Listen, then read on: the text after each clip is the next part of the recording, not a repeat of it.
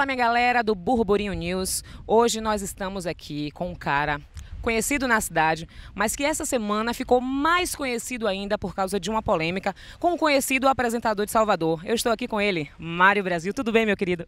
Tudo massa, tranquilo, prazer, satisfação imensa estar com vocês aqui do Burburinho. Tamo juntos. É o seguinte, primeiro eu quero falar da sua volta para a banda O Troco. Né? A gente estava conversando aqui, você me dizendo que as pessoas pediam para que você voltasse para a banda. Eu queria que você me dissesse como ocorreu essa volta e há quanto tempo você está no Troco de volta. Na realidade, o Troco voltou, a gente tem seis meses né, de volta. Então, o Troco é meu, a marca é minha. Parei o Troco durante um ano só. Montei uma, um, um, um grupo de arrochadeira onde a gente rodou muito aí a Bahia inteira fazendo shows. E a galera sempre me pedindo, sempre me pedindo, Mário, volta pro troco. Mário, canta aquela música do troco. Aí eu digo, rapaz, chegou a hora. Eu vou voltar, voltei com o troco. E a gente está rodando aí, graças a Deus, está bacana demais a receptividade das pessoas para conosco, tá massa. Tá então, agora a gente está sabendo que vocês voltaram com uma música nova, Metendo Tendo. É, inclusive foi por causa dessa música que vocês foram fazer a divulgação em um programa e deu a polêmica que deu, que já já a gente vai falar. Eu queria que você contasse pra gente como surgiu a composição dessa música e que você cantasse um pedacinho pra gente, claro. Com certeza. Na realidade, há quatro, cinco meses atrás, eu estava indo fazer uma participação em Dias d'Ávila com os amigos lá. E aí uma pessoa me ligou, eu tava na estrada. E aí, Mário, tá por onde? Aí eu olhei a placa assim e vi 71 quilômetros. Eu digo, eu tô a 71 quilômetros daqui para Dias D'Ávila, que tá vindo de Serrinha na realidade. E aí a placa sinalizou 71 quilômetros para Dias D'Ávila. Aí eu digo, beleza. Aí eu falei, essa pessoa, pô, tá longe, né? Eu digo, mas vale a pena, já já eu chego aí. Aí eu entrei no carro, meu cunhado tava comigo, que é meu produtor, e já entrei cantando né? 71 quilômetros, aí fiquei 71, aí a música cresceu, aí foi desenvolvendo, chamei os amigos para gravar a música com dois dias, que eu deixei ela pronta em casa mesmo, e a gente fez a música e tá aí batendo nas malas dos carros aí, nos paredões, eu tô muito feliz. 71 quilômetros daqui pra casa dela, mas ela vale muito que essa mina é donzela, ninguém nunca pegou, nunca machucou, burburinho news e o troco voltou, metendo, metendo, metendo metendo, metendo, tendo, tendo. Vamos embora. No áudio que você é, enviou para ele e vazou para todos os WhatsApps que a gente sabe, é, você fala que ele pediu para você começar o programa cantando Todo Enfiado, que foi um grande sucesso seu, é, e que você ficaria no ar 20 minutos. Você acha que porque você não fez a vontade dele, ele boicotou você? Eu não creio que foi isso, não. Eu acho que assim, ele pediu para eu cantar o Todo Enfiado e falou para mim, Mário, depois do Todo Enfiado, eu vou te dar mais 20 minutos de programa para você cantar o que você quiser. Pode cantar um samba de roda e cantar sua trabalho que é o Metendo Tendo. Eu digo 20 minutos, ele sim, 20 minutos após é, é, é, quando terminar o todo enfiado. Eu digo, tudo bem.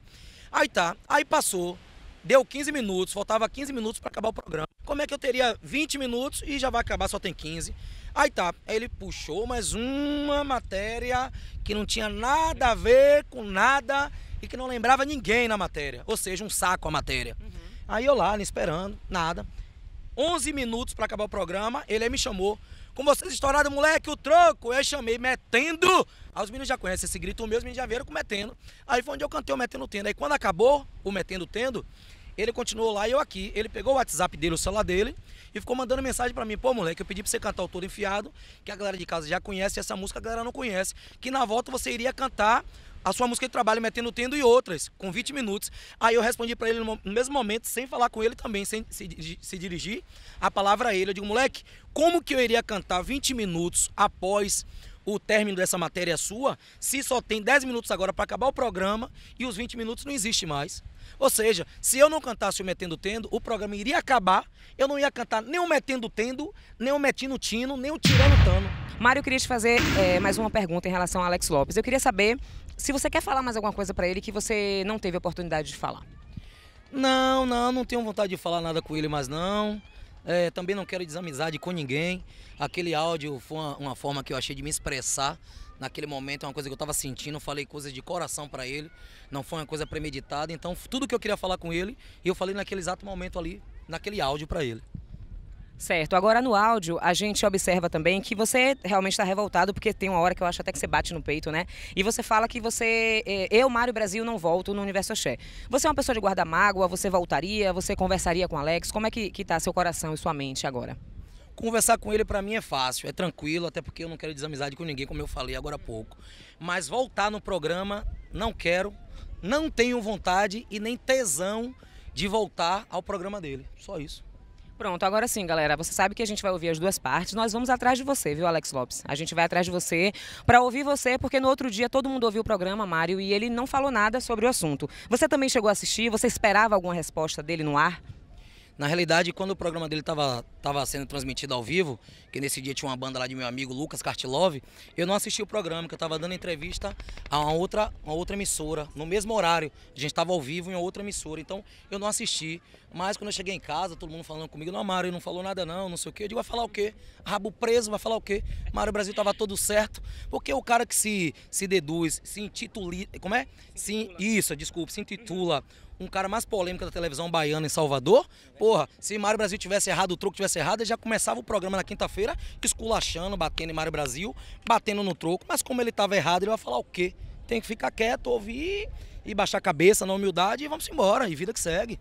É verdade. Agora sim, é, eu queria que você passasse para a galera que tem muito fã siga no Burburinho News, é, as suas redes sociais, o seu telefone de contato para show, a sua agenda, sim. se tiver, passa para a gente que a gente está querendo o troco. Bom, meu, meu, meu Instagram, que é a rede social que eu mais uso hoje, é Mário Brasil Troco.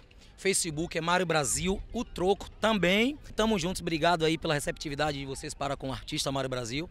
E tenho certeza que aqui, na minha casa, na minha família, no Troco, na minha história, na minha vida no pagode, vocês vão ser sempre bem-vindos e muito bem recebidos. Idem, idem, idem. Já recebemos o convite, vem toda a equipe do Burburinho News pra Jauá. Fazer festa, fazer festa. 71 quilômetros daqui pra casa dela. Mas ela vale muito que essa mina é donzela. Ninguém nunca pegou, nunca machucou.